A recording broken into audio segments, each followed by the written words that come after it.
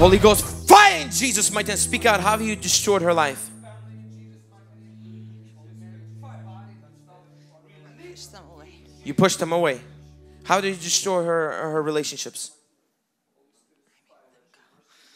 You made them what? You made them go.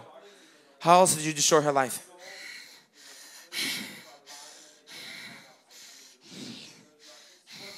How did you destroy the life? Demons, speak out. You're in the arena of liberty. Holy Ghost, fire in Jesus' mighty name. How did you destroy her life?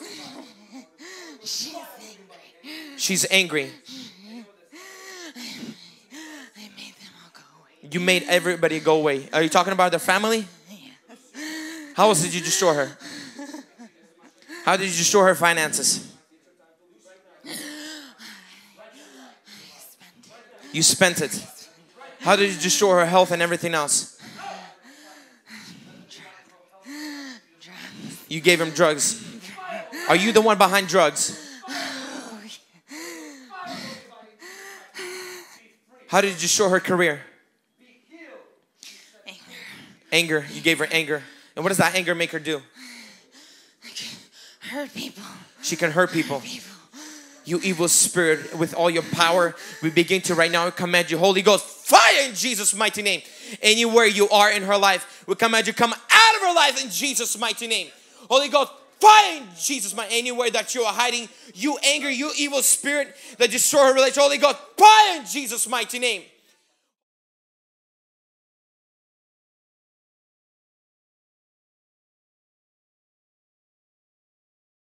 I just felt a lot of tingling in my body. It just, everything got really hot and my whole body was shaking on the inside. I, I felt like something was suffocating me. So is it you that was speaking out that you're angry and you pushed everybody away from your family and all that? No.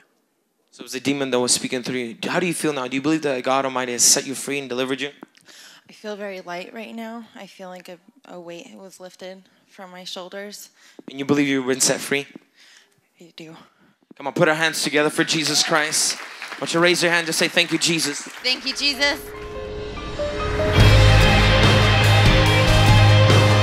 We welcome you to the prayer with anointing water. Can you please tell us your name and where are you from? My name is Caitlin Schneider and I'm from Portland, Oregon. Caitlin, can you tell us what were the reasons that um, you wanted to come to be prayed with anointing water? Uh, my whole life, I've had an uncontrollable rage inside and depression and suicidal tendencies. I got to the point where I was, I couldn't maintain a relationship and it's hurt my family a lot. So it's time to end that. And what were the some of the issues that you were struggling with? Ad- some addictions.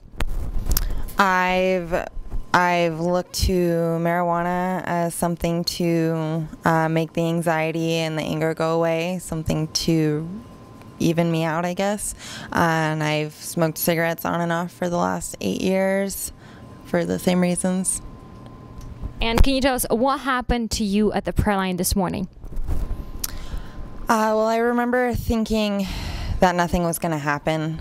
Um, I remember hoping that that something would happen so that uh, you know I could get some relief. Um, but I remember I didn't think anything was going to happen, and then all of a sudden, my whole body started tingling and burning, and I felt very uncomfortable. It was it was like anxiety times a million. I I can't explain it. Um, and then it was gone. Um, we know that when you were at the prayer line, the evil spirit spoke through you, and I just want to mention a few things. Can you confirm anything? He said that um, that he would made your family go away. That um, drugs destroyed and destroyed career, anger. He also used anger to hurt other people. Can you confirm anything that was happening in your life that the evil spirit spoke through you? Uh, well, definitely, uh, I do look to marijuana as a drug um, to numb myself, uh, making people go away. That I think that's what the anger was. I I remember I used to be able to feel myself saying to stop, and I couldn't. It was like I was a little ant, and something was controlling me. Um, so definitely, like torched every bridge that I've walked over. Um, all my relationships have ended badly. And how do you feel right now after being set free? Uh, well, I mean, I I feel like a weight was lifted off me. I before it felt like like saran wrap was around me, and now I just feel like a feather. Do you believe that Jesus Christ has put an end to every issue and every addiction in your life this morning? I do. Yes.